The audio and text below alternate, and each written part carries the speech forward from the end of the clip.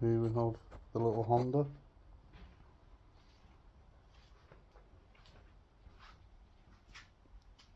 I had this bike when I was around seven or eight. I can remember my dad taking us to bits and painting it up. I put that sticker on the tank when I was a kid.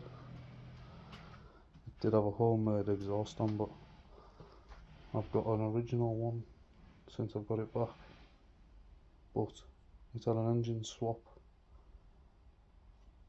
And it's got a later engine in out of a Honda Cub circle light. I do have the original that's going to be rebuilt. There'll be a video of that too. But yeah just thought I'd give you a little walk around of it show you how it is. This is what's going to be next on the list to be reborn